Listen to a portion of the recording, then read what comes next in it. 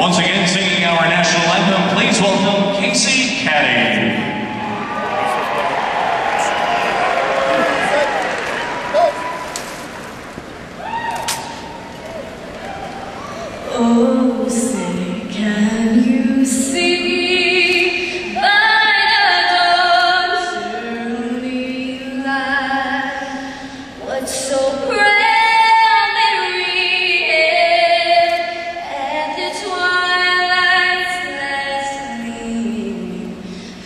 broad stripes and bright.